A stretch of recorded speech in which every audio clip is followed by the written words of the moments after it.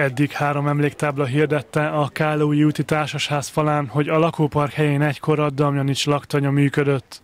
Évtizedeken keresztül több ezer katona teljesített szolgálatot a falak között, akik emlékére most a Szabolcsi Honvéd Műszaki Hagyományőrző Bajtársi Egyesület állított táblát. 57 fő alakította az első létszám, ez volt, majd utána, amikor itt átköltözött az alakulat Békés Csabáról Nyíregyházára, akkor töltődött fel teljes létszámmal.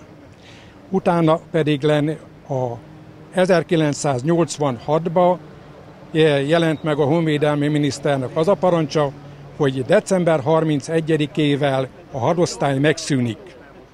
A hadrendből 1987. június 30-án vonták ki az MN 7314-es megnevezést. Ennek a megszűnésnek a, a, a, ez a tábla hirdeti a megalakulást és a megszűnésnek a idejét.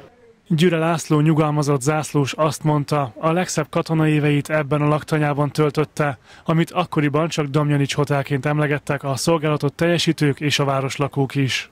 Ez egy csodálatos érzés újra itt lenni, újra látni a régi kollégákat, a régi parancsnokokat, meg az embernek el is szorul a szíve, hogy ilyenkor úgy számvetést készít, hogy hány ember van, aki igazoltan már távol van közülünk. Jó lenne ismét, de ők már soha nem lesznek itt. A táblát a leleplezés után megkoszorúzták és főhajtással tisztelektek az egykori bajtársak előtt.